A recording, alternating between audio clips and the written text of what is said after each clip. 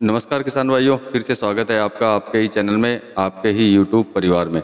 आज जान लेते हैं बॉर्डर पे आवक कैसी रही, साथ में कौन से प्याज की डिमांड वहाँ बहुत तेज़ आई है, क्योंकि कुछ खबरें वहाँ से आ रही हैं, जिन खबरों के हिसाब से अच्छी खासी एक प्याज के अंदर डिमांड चली है तो उसके बारे में चर्चा कर लेंगे किसान भाइयों। और साथ में चाइना के प्याज की भी चर्चा कर लेंगे कि चाइना का प्याज का क्या हुआ तो चैनल पे नए आए किसान हैं तो चैनल को सब्सक्राइब कर लीजिएगा। वीडियो पसंद आए तो लाइक कर दीजिएगा। लगता हो वीडियो शेयर के लायक है तो शेयर करना बिल्कुल भी मत भूलिएगा। तो सबसे पहले चाइना के प्याज की बात कर लेते हैं। जो मैंने कल भी एक वीडियो बनाया था जिसमें बोला था आपको चाइना का प्याज बांग्लादेश आया है। तो देखिए, मैंने आपको पहले ही बोला था कि चाइना के प्याज से अपने भारतीय प्याज पे कोई असर होने वाला नहीं है।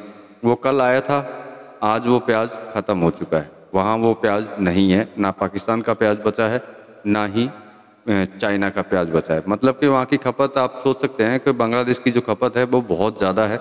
ये दो, चार, पाँच, दस कंटेनर आने से पाकिस्तान के या चाइना के प्याज के, इससे कोई फ़र्क नहीं पड़ने वाला अपने प्याज के ऊपर। इस चीज़ के लिए आप निश्चिंत रहिए, चाहे वो किसान भाई हो या फिर लोडर। दोनों को इस बार इस चीज़ को लेकर के किसी तरह की टेंशन लेने की ज़रूरत नहीं है। इस तरह से किसी तरह की चिंता लेने की ज़रूरत आपको नहीं है। अब बात कर लेते हैं डिमांड की।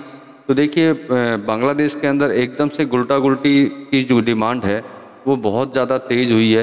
तो किसान भाइयों जब वहाँ अगर डिमांड तेज़ हुई है तो देखिए गुल्टा गुल्टी हो सकता है कि जो भाव भाव तो तेज़ होने के चांसेज हैं ही, साथ में लेवाली जो है, वो बहुत ज़्यादा तेज़ होने के चांसेज इसके अंदर आ रहे हैं गुल्टा गुलटी के अंदर, क्योंकि बांग्लादेश के अंदर इसकी डिमांड सोचने से भी ज़्यादा हो गई है और बहुत ज़्यादा डिमांड सुनाई दे रही है और हम लोगों को अपनी इन्फॉर्मेशन से पता भी चल रहा है वहाँ के जो जिस तरीके से इंपोर्टर के मैसेज आते हैं कि गुल्टा गुल्टी चाहिए गुल्टा गुल्टी चाहिए, इसके हिसाब से डिमांड बहुत ही ज़्यादा तेज़ होने के चांसेज लग रहे हैं।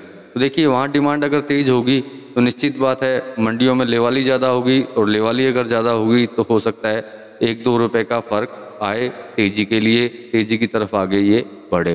तो ये तो थी डिमांड की बात जो मैंने आपको बताया गुल्टा गुल्टी की डिमांड वहाँ पहुँची है।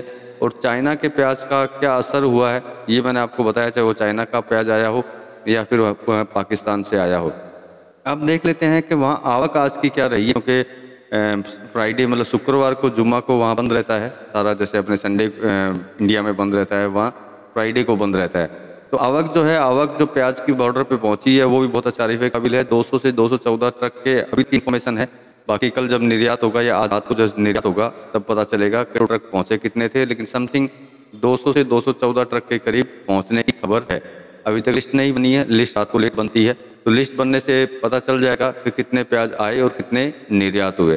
तो दोस्तों, आज के वीडियो में तो ज़्यादा कुछ नहीं था, इतना ही था जो मैंने आपको बता दिया। मिलेंगे अगले वीडियो में, अगले भाव के साथ या अगली कोई इन्फॉर्मेशन के साथ। तब तक के लिए जय जवान, जय किसान।